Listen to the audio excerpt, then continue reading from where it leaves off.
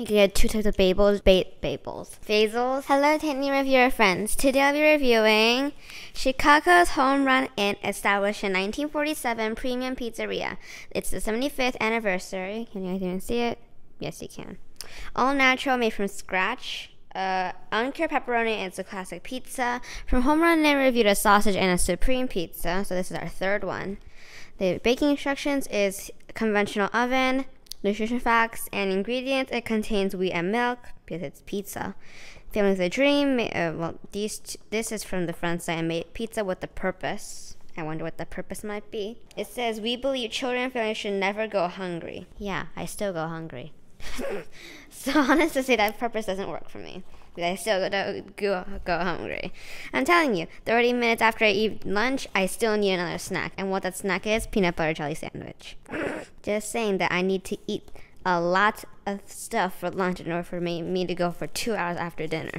And I'm also spending 30 hours trying to open this pizza box. Why won't this open? Because I'm afraid I'll cut myself with cardboard. And I'm telling you, it's painful. It's like 5 million times more painful than a paper cut. It's cardboard, it's basically 100% thicker than paper.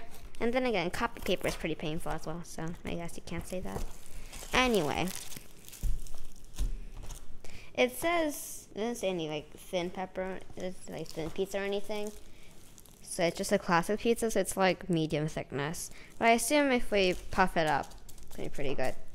I think the cheese is already preheated because as you can see the burn spots. Yeah.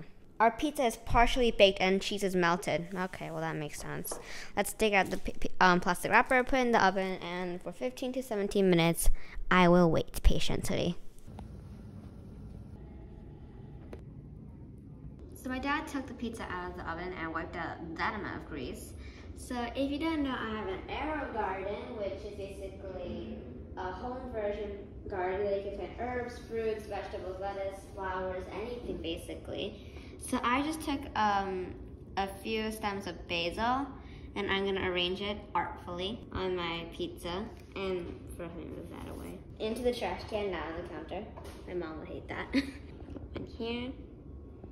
So technically, if you want, you can eat the basil on the pizza, but I just like doing it for like the scent because I love herbs for some reason. The tomatoes I'm gonna save to eat because But some of the herbs, if you let it grow for a long period of time, it actually goes really big. But remember to wash it first. We, well, you, well, you don't have to, but like healthier, yes, because it's like washed, not with soap and water, but with just water.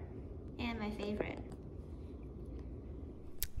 Okay, so I am back. My dad cut a pepperoni off.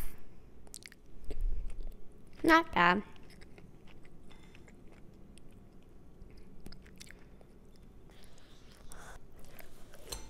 It's not bad. Is it the best? No. But I personally find it okay. My dad says it's too oily, like it's greasy. So I mean, is there a pizza that's not greasy? No, so I guess all pizzas are greasy, but like overall this is really greasy. Because you saw how much like oil and grease came out of it. My dad's rating is 3.8 because of grease. Mine is just 3.5. So if you're wondering what type of basil this is, because if you get the herb garden for the AeroGarden, you can get two types of babels, ba- babels, basils. You can get Genovese or a Thai. I I like the scent of the Thai basil pepper. It's like lemon, a. But this is the traditional Genovese basil that you see all the time. It's not bad, but is it the best pizza in the world? No. Can I eat it for a meal? Yes. Well, that's it for today. If you enjoyed this video, subscribe and press the like button and meet me again on this brown silicon pie table. And I'll see you again in my other videos. Bye!